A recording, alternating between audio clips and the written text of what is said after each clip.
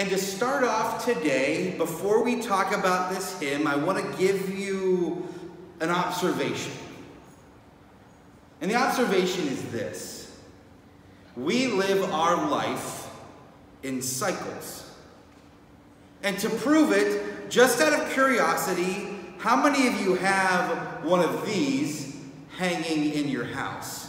And for those of you watching on the thing, there's a picture of a calendar up on the screen. I grew up with one hanging in the walls of my house. Every year, we buy my in laws one with pictures of the kids on it. Now, I'll be honest, we don't have a physical calendar in the Schultz house, but we do use a calendar. We just happen to use the calendar on our phones. And we use calendars for so many different reasons. We use them to track our schedule.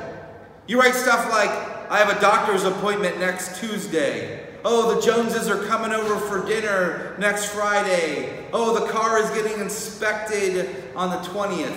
You mark things on the calendars like the kids are on spring break this week. This is the week that we're taking our summer vacation. And then think about all those different holidays that we celebrate here in the United States that are on the calendar. President's Day, Valentine's Day, Martin Luther King Day, Mother's Day, Memorial Day, Father's Day, Independence Day, Labor Day, Columbus Day, Halloween, Veterans Day, Thanksgiving, Christmas, New Year's.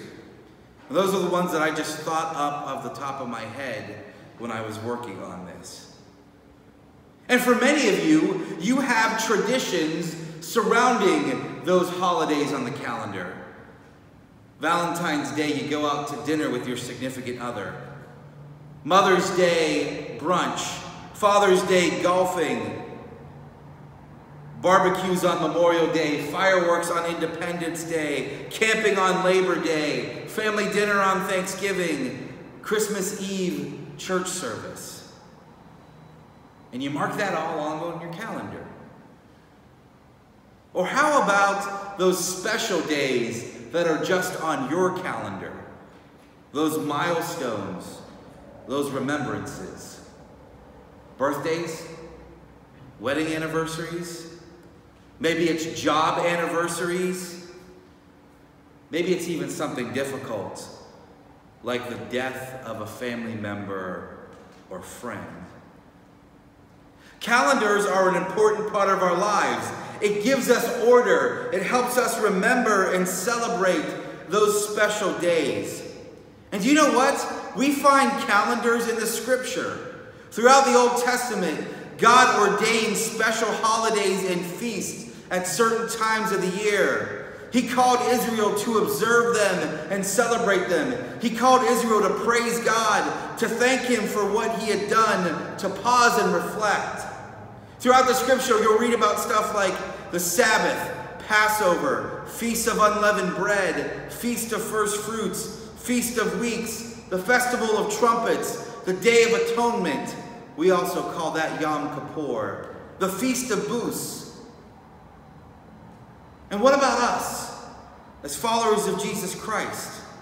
We have the same thing. We have special seasons and days that we celebrate, that we praise God, that we remember what He has done for us, that we celebrate that we are saved by God's grace through faith in Jesus Christ, that we have the hope of everlasting life.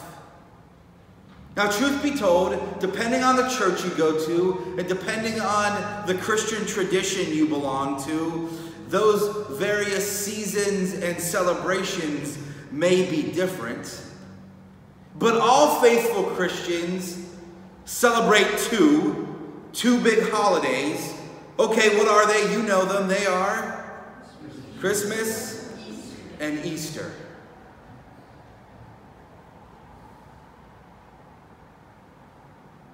And what happens at Christmas and Easter is very important. But many traditions, including the Lutheran Church, they created a calendar, a church calendar.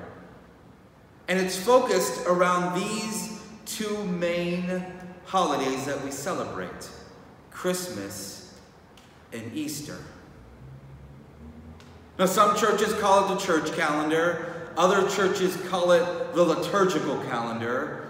The word liturgical or liturgy or any form of it, it basically means order. When we say liturgical worship, we mean that there is an order to the service, prayers and songs and responses, and we usually find that order in a hymnal.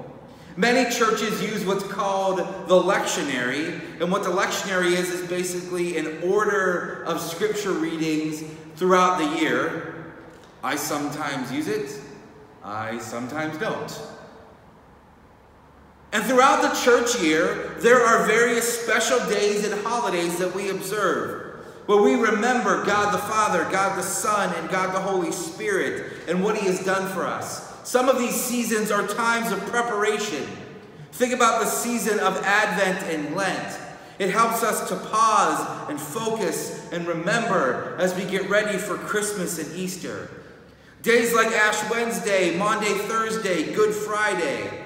We celebrate things like Jesus' Ascension, Pentecost, Trinity Sunday, times where we pause and remember. We remember events in Jesus' life, like his baptism and transfiguration. And for us Lutherans and many other Protestants, Reformation Day. And not only are there these special seasons and days and holidays, but there are also colors that go with them. You notice behind me on the high altar, we have two Paramount banners, and they happen to be green right now. And we have many different colors throughout the year. And the truth is, if you would try to figure out what the colors represent, you're going to find like 30 different reasons. So I went to the LCMS website and I said, so, so what does our tradition believe? So here are some of the colors that we use to remember and celebrate. There's blue. And we use blue during Advent. Blue is the color of the sky. During Advent, we remember and celebrate and prepare for Jesus' birth. But Advent is also the focus on Jesus' second coming. And Jesus ascended into the sky, and the scripture promises he will return again in the same way. There's purple. We use purple during Lent. Purple is a color of sorrow. They placed a purple robe on Jesus right before they placed the crown of thorns on his head. We use black for Ash Wednesday and Good Friday. Black is the color of mourning, and we do so in somber reflection. We use the color red, and red is the color of celebration. We use red at Pentecost, Reformation Day, Palm Sunday, but red is also used on special occasions. The ordination of a pastor or a pastor's funeral. Church anniversaries, they use red. And red is a celebration, and red comes from the red flames of the Holy Spirit descending at Pentecost. Green. Green is used in what we call normal time or regular time. Green is the color that we probably have up the most. And when we think of green, we think of plants. And green just means spiritual growth throughout the year. Finally, there is white. And white is used during Christmas and Easter. White is the color of purity. It reminds us that Jesus came, that Jesus died, and Jesus rose again it reminds us also that our sins can be washed as white as snow through Jesus. And so those are the colors that we use throughout the year. And so what is a calendar? And what is these church colors? What does any of this have to do with a hymn? Well, let me explain. It's the early 1800s. And one of those special days, Trinity Sunday, is just around the corner.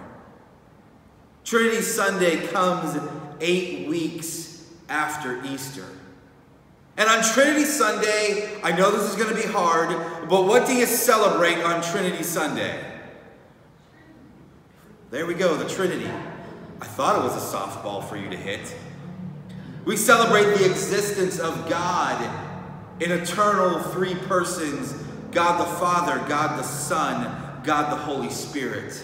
And let me just pause for a minute because the Trinity, to be honest, it's a concept that is impossible for us humans to fully understand, let alone explain. God is infinitely greater than we are, and so it would be impossible for any of us, even the smartest person to ever live, to be able to fully and completely understand God. Think about it this way the smartest dog in the world is never going to fully understand and explain human beings. But yet, God, out of his love for us, gives us a glimpse into who he is.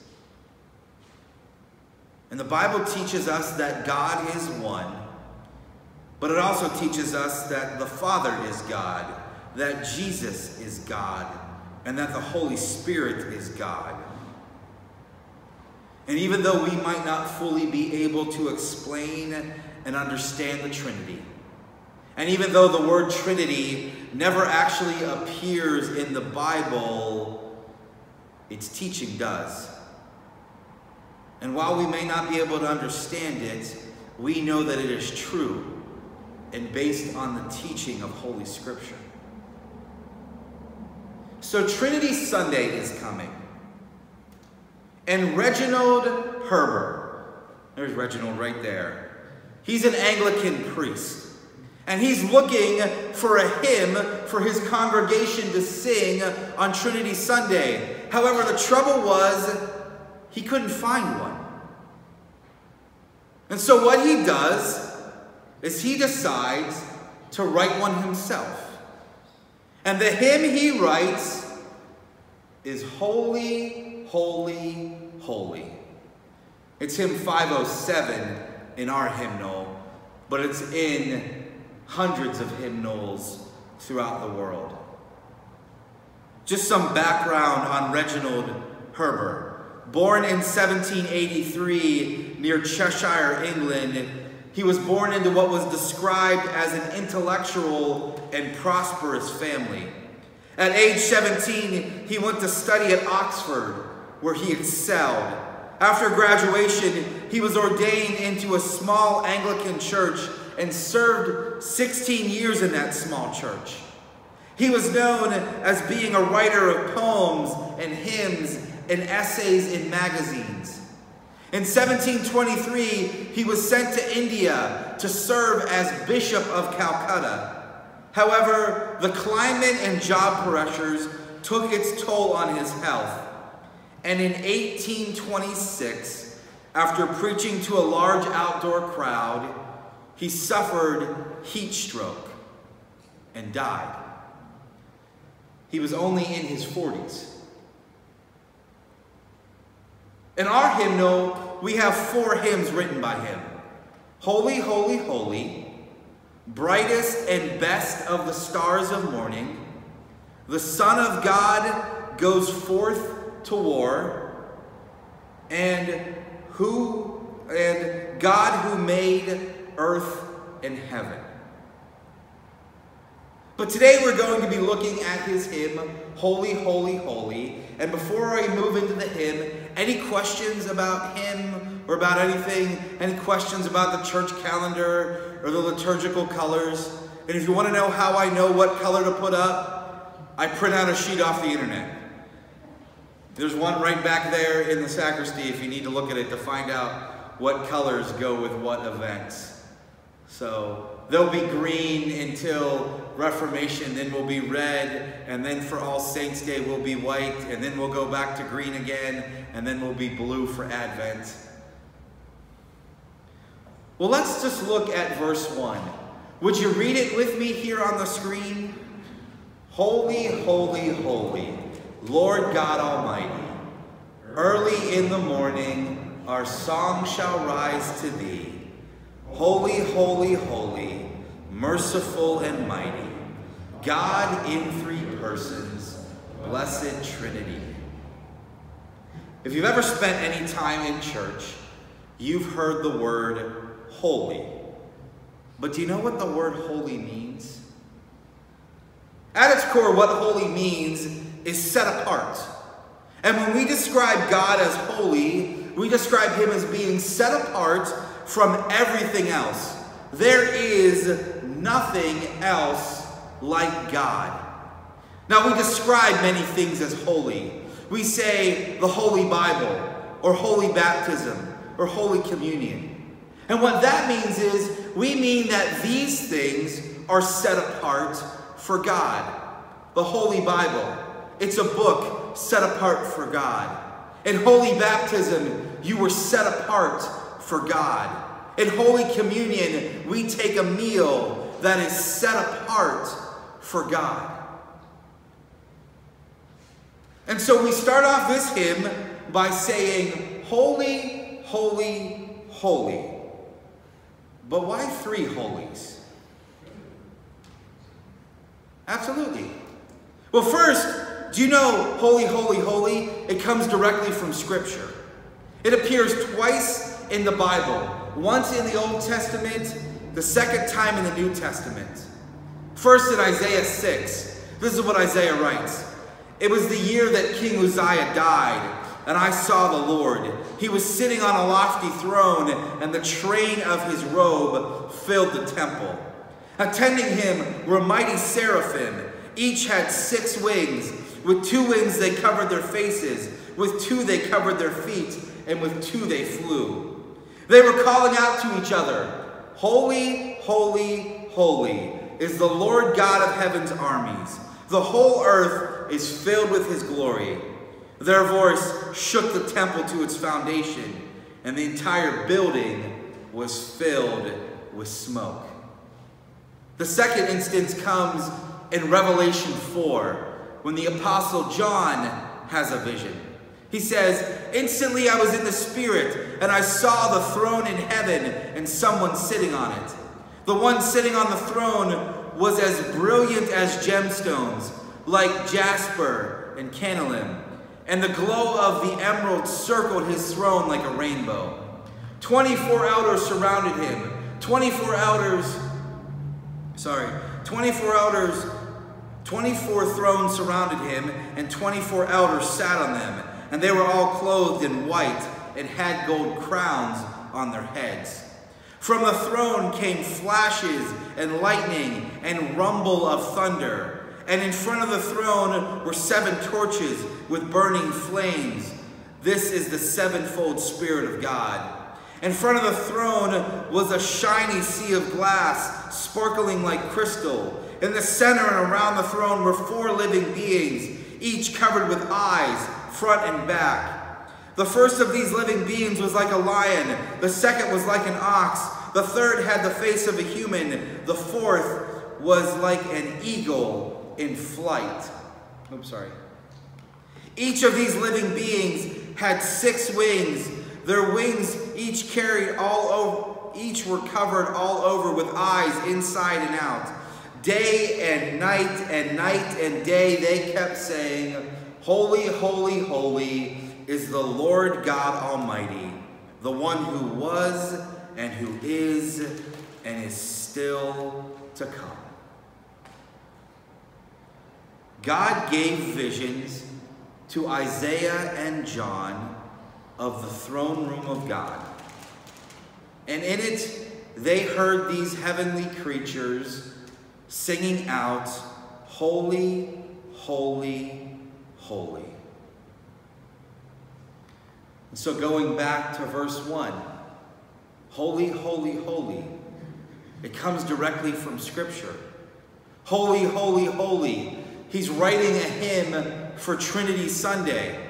So holy is God the Father, holy is God the Son, holy is God the Holy Spirit. And he writes out by saying, From the moment I wake up, my songs of praise shall be lifted up to heaven to you. For you are merciful, yet you are mighty. God, you are in three persons. You're the Trinity God the Father, God the Son, God the Holy Spirit.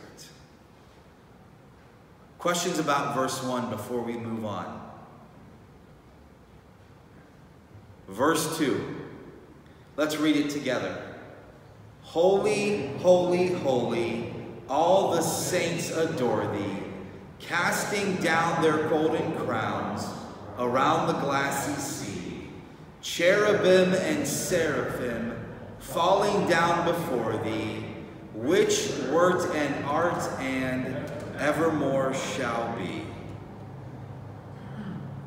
What is going on here? Going back to Revelation 4, this vision that John had in heaven.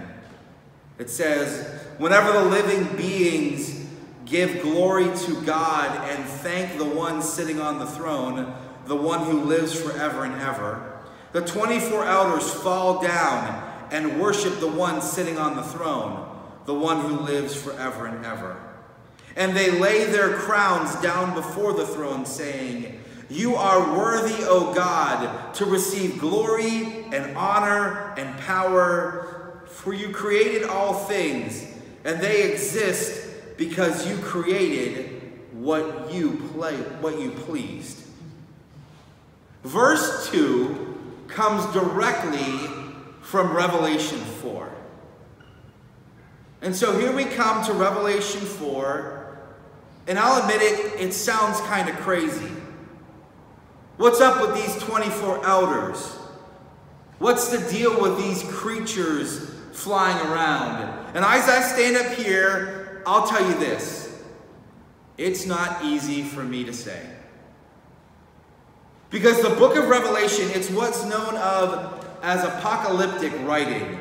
And apocalyptic writing is highly symbolic. So what do these symbols mean? Is this really happening? Is this not really happening? The truth is, I can't give the answer. But let me try to explain what I think's going on here. And so he writes, Holy, holy, holy, all the saints adore thee. And so, saints, what is he talking about? Well, giving an idea of where this verse comes, the 24 elders are a symbolic representation of the saints. Now, who are the saints? Now, some traditions have their own view of the saints, and I'm not going to stand up here right now because I don't know all the background about what the Catholic Church teaches about saints. But let me tell you what I believe the Bible teaches about saints. You see, every time the word saint appears in the Bible, it never refers to one specific person, but always refers to a group of people, and a specific type of group of people. Let me take this. This is 1 Corinthians 1 2. And I have to use the English Standard Version here because the NLT and the NIV, they don't use the word saint, they use the word holy people. But this is what Paul says in 1 Corinthians. To the church of God that is in Corinth, to those sanctified in Jesus Christ, called to be saints, together with all those who in every place call upon the name of the Lord Jesus Christ, both their Lord and Savior. When the Bible talks about the saints, what it's talking about is all of us Christians, followers of Jesus Christ, the body of Christ, the church. And so, if we believe that all Christians are saints, that the body of Christ, the church, they are the saints. Why do we still have saints in the Lutheran church? I mean, you're sitting right now in St. Luke Lutheran Church. Well, we don't view the saints the same way as the Roman Catholic Church does or other churches do. We don't pray for the saints. I'm sorry, pray to the saints, or as the Catholic Church teaches, ask the saints to pray for us. It kind of has to do with Martin Luther and him being a Catholic and us. Basically, this is what we view the saints. We give thanks to God for faithful servants in his church. We remember what God did for them and their faith. We look to them as examples of what we should do in faith and holy living. Before I move on, any questions about what we view about the saints?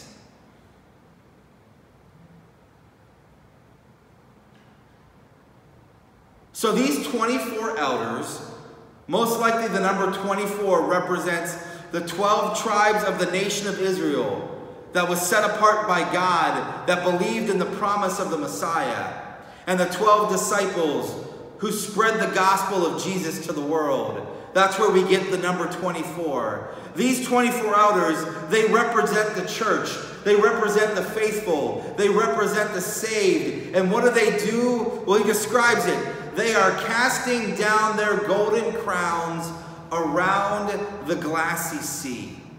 Once again, going back to Revelation, this vision that John had in heaven, he wrote, In front of the throne was a shiny sea of glass, sparkling like crystal.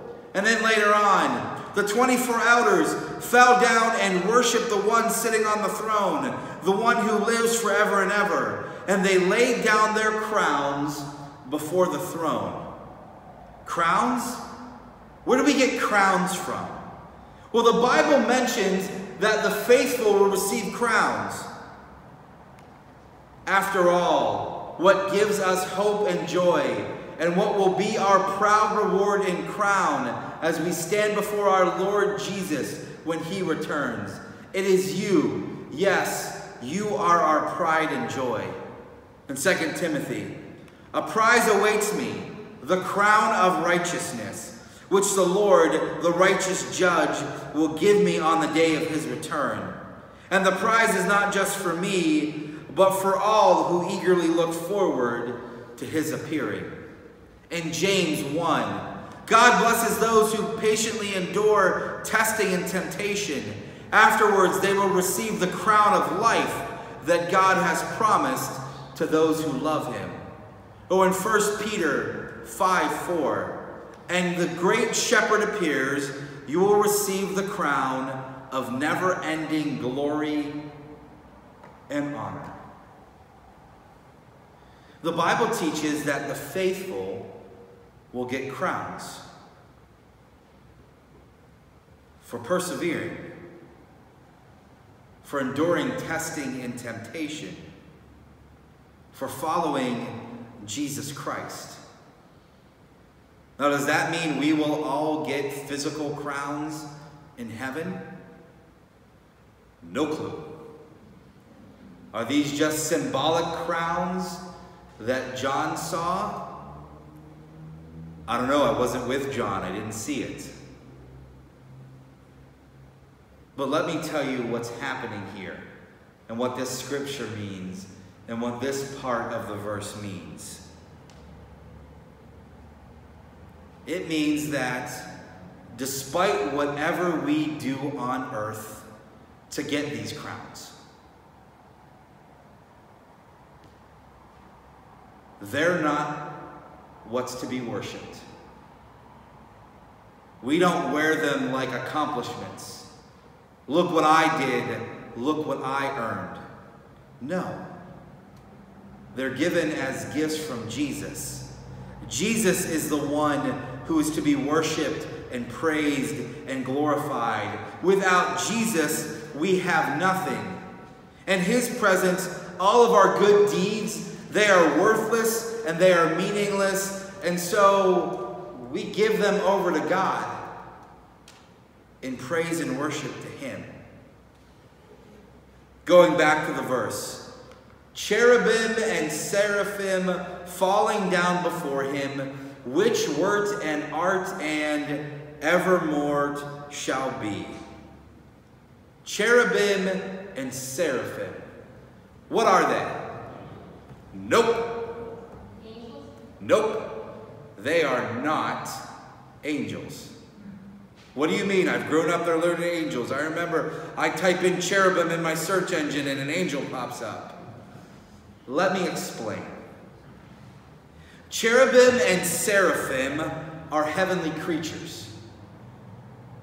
Seraphim are only mentioned in Isaiah. Cherubim seem to be mentioned in other places in the scripture. Actually, the first time that cherubim are mentioned is in Genesis 3. Adam and Eve have fallen into sin, and God banishes them from the Garden of Eden. And this is what Genesis 3 tells us. After sending them out, the Lord stationed mighty cherubim to the east of the Garden of Eden. And he placed a flaming sword that flashed back and forth to guard the way to the tree of life. They were kicked out of the Eden, and he put cherubim there as basically security guards to keep Adam and Eve out. The tabernacle, and then the temple, and articles in the tabernacle and the temple, the cover of the Ark of the Covenant, the veil that separated the Holy of Holies. They were decorated with cherubim. So, what does cherubim look like? Well, Ezekiel might, many scholars think that this is Ezekiel's describing cherubim. This is what he writes From the center of the crowd, four living beings that look like human, except that they each had four faces and four wings. Their legs were straight, and their feet had hooves like those of a calf, and shone like brushed bronze.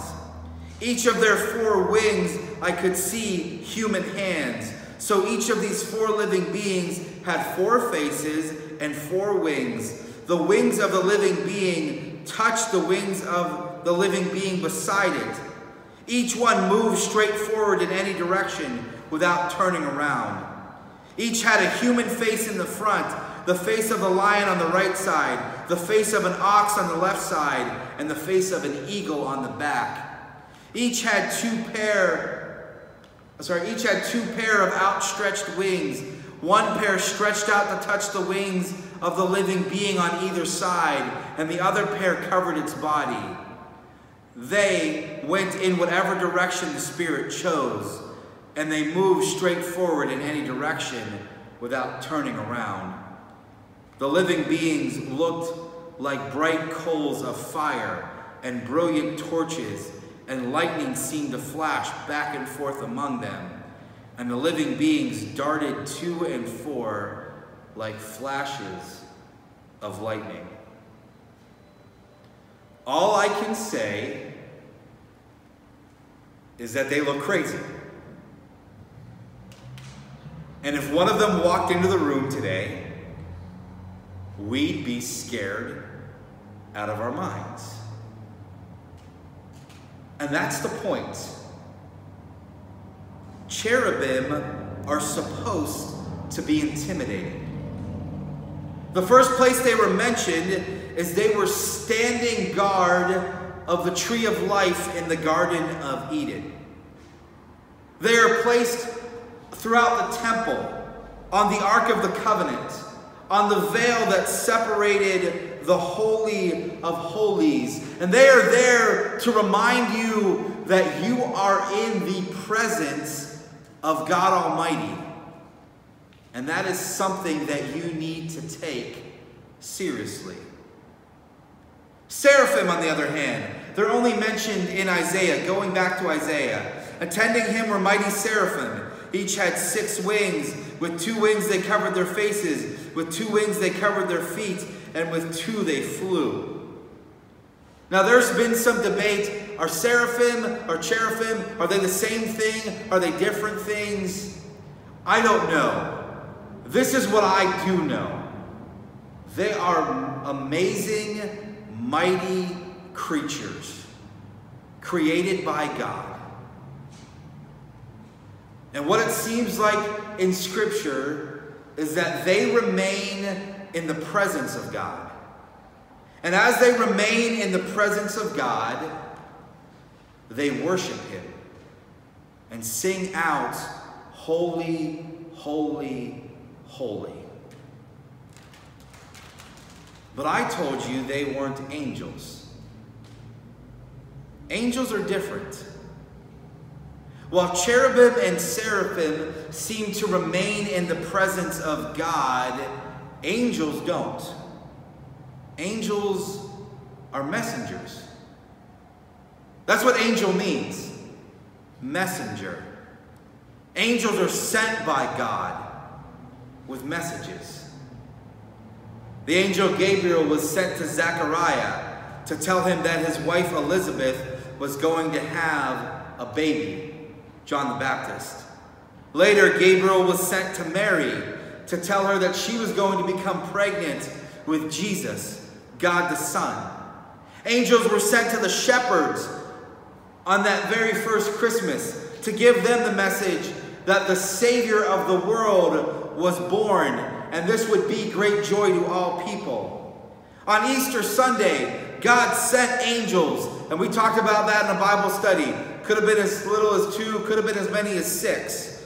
He sent angels to declare that Jesus Christ was risen from the dead. And angels are still likely in our presence today. This is what Hebrews 13 tells us.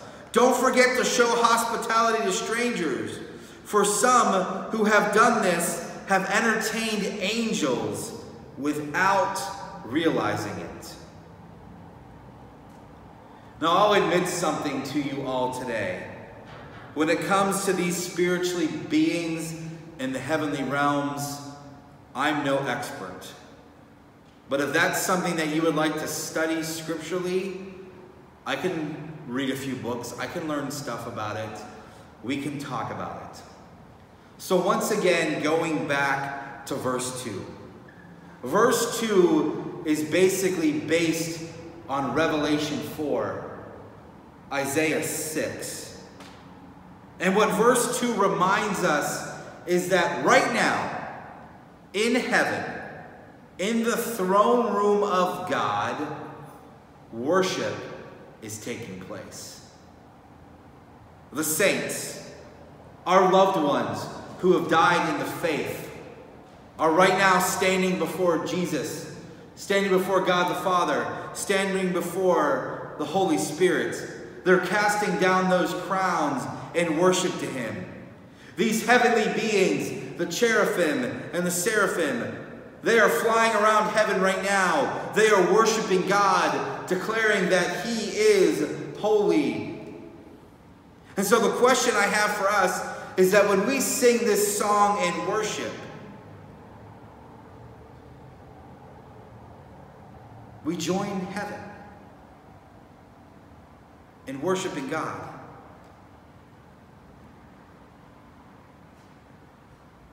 And so the question is do you truly worship God? And I know you do. The Bible tells us that one day everyone will.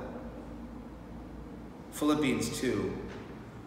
That the name of Jesus every knee should bow in heaven and on earth and under the earth, every tongue declare that Jesus Christ is Lord to the glory of God the Father. One day, everyone will have to get on their knee and declare that Jesus Christ is Lord. I know for me, I'm so glad that I do it willingly right now. Verse 2, I know there was a lot there. Questions about verse 2 before we move on. Questions about cherubim and cherub, cherubim and seraphim. I was combining them into one thing there for a second. About angels. This is what I can say about angels. I, I don't know, the Bible never gives us, from what, from what I've read right now, what angels actually look like. But every time an angel appears, the first words out of the angel's mouth is, Don't be afraid. So obviously, there's something about it that brings fear to people, but then peace when they hear that message from God. I was thinking about angels. Uh, do they have another job? I mean, I'm thinking of uh, Luther's morning prayer. At the end, we say, Let the holy angels be with me, that the wicked. That the evil foe may have no power over me. They're, they're, they're messengers from God, and, and once again, that's me not, not knowing as much because there is, you know, there's only two angels named in Scripture Gabriel and Michael the Archangel. And if you remember, Michael the Archangel fought over the body of Moses with Satan.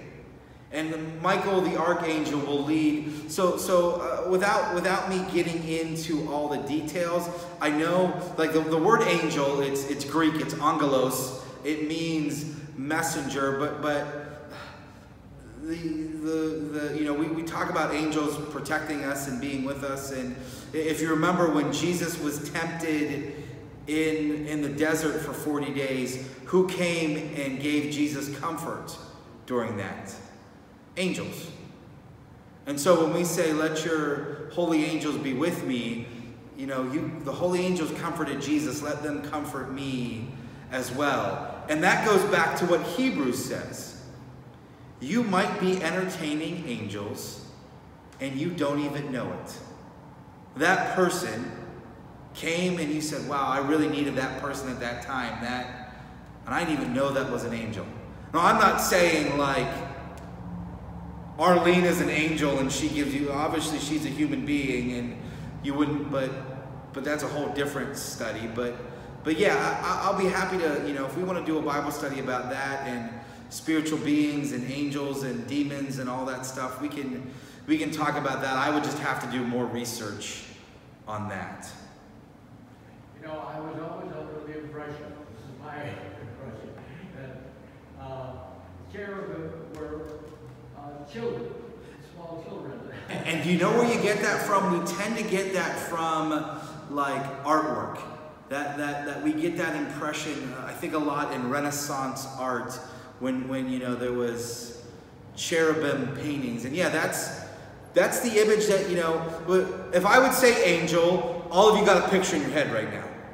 There's a halo, there's wings, there's maybe a white robe. Okay, we're looking at the stained glass window over there with the picture of an angel with wings. I don't know if the angels have wings. The cherubim and seraphim have wings, and it's more than one set of wings. And some of those wings are covered with eyes. That's freaky. And they've got faces of lions and oxes and human beings and eagles. That's scary. Um, I, I will be happy to do more research. But going back to the point of this study, they worship God. Even these amazing creatures that are beyond our wildest comprehension humble themselves and worship God. Verse 3, let's read it together.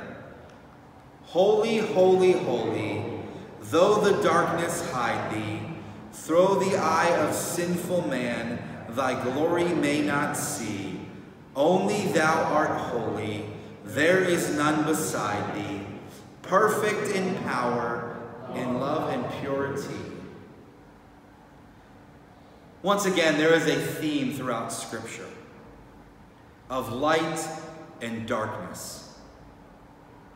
That sin is darkness, but Jesus Christ is light.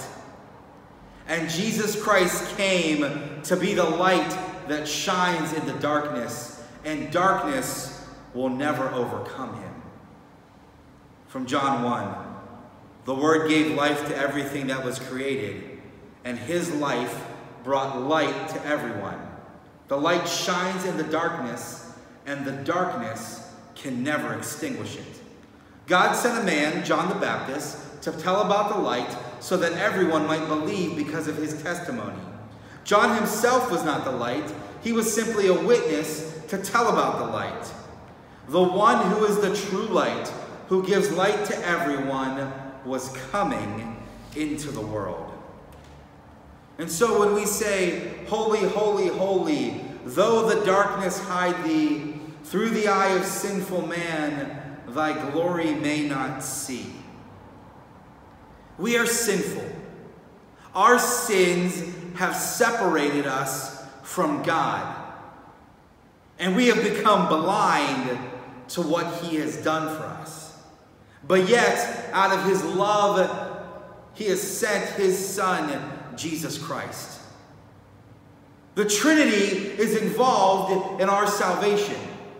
God the Father loved us so much that He sent God the Son to die for us, to rise again so that we could have the hope of everlasting life. Through God the Holy Spirit, we can by grace call upon Jesus Christ to be our Lord and Savior. In Revelation 6, we, we hear the famous verse For the wage of sin is death, but the gift of God is eternal life in Christ Jesus our Lord. We were in darkness, but Jesus has given us the light. Only thou art holy, there is none beside thee, perfect in power, in love, and purity. We are reminded throughout the pages of the Bible that there is none like God. 1 Samuel, no one is holy like the Lord. There is none beside you. There is no rock like our God. First Chronicles, O Lord, there is none like you. We have never seen or heard of another God like you.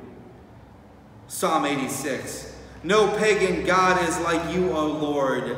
None can do what you do. There is none like the God we serve. Like God the Father, God the Son, God the Holy Spirit. In Him, we find forgiveness through His love, through His power, through His purity. Questions about verse 3. Verse 4. Holy, let's read it together. Holy, holy, holy, Lord God Almighty, all the works shall praise thy name in earth and sky and sea. Holy, holy, holy, merciful and mighty, God in three persons, blessed Trinity. We sing here, all thy works shall praise thy name in earth and sky and sea.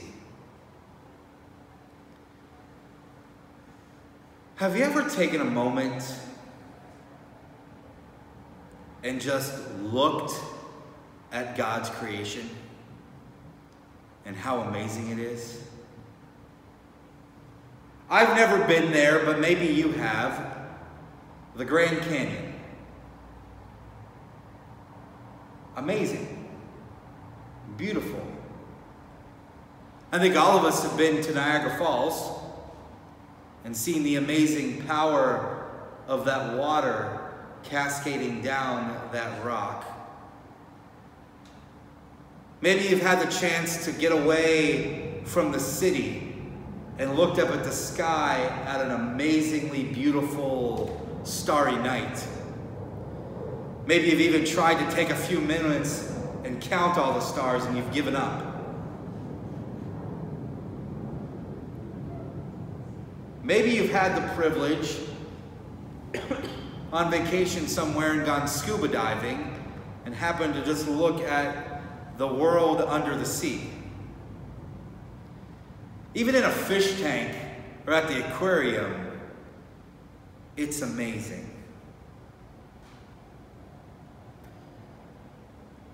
God's creation is absolutely breathtaking.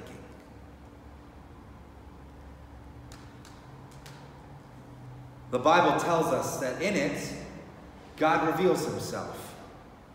Psalm 19 The heavens proclaim the glory of God, the skies display his craftsmanship. Or Romans 1. They know the truth about God because he has made it obvious to them. For ever since the world was created, people have seen the earth and sky. Through everything God made, they can clearly see his invisible qualities, his eternal power and divine nature, so that no one has an excuse for not knowing him. Friends, you want to know how I know that there's a God?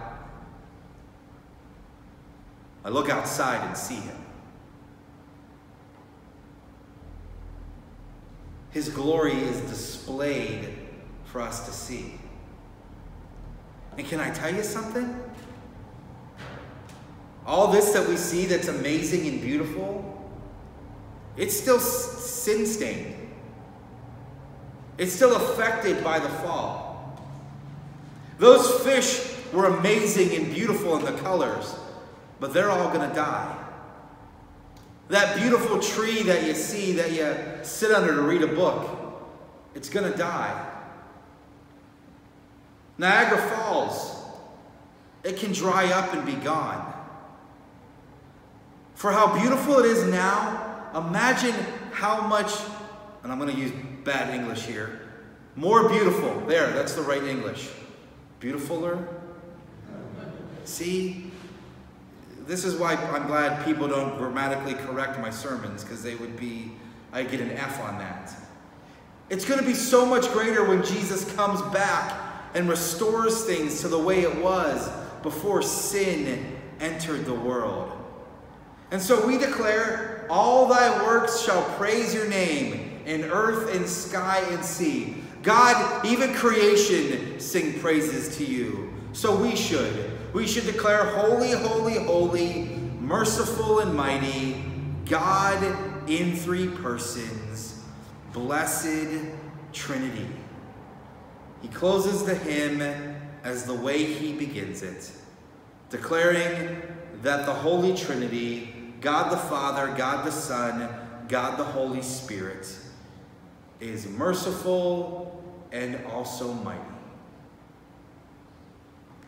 So that's holy, holy, holy. Questions, observations, anything that, that you have that you want to know? Questions about anything that we've talked about here before we wrap stuff up? Don? Wiring. That's amazing, this morning. That's, you did it beautifully. Well, thank you. Thank you. Thank you. I, you know, it's when I study this stuff, I, I, I mean, I've read Revelation 4. I've sung Holy, Holy, both dozens, if not hundreds of times. And then when you're doing research, you go, oh yeah, that's where he got it from. That's, of course, that, you know, casting down their golden crowns around the glassy sea. That's right there in Revelation 4. That's, okay, so what are these crowns about? What are these? And, and I'll be, I'll be completely honest with this. Pastors who did all this research before the internet, they deserve their weight in gold. I mean, I'll get out books and stuff, but to me, it's so much easier to, to search for stuff.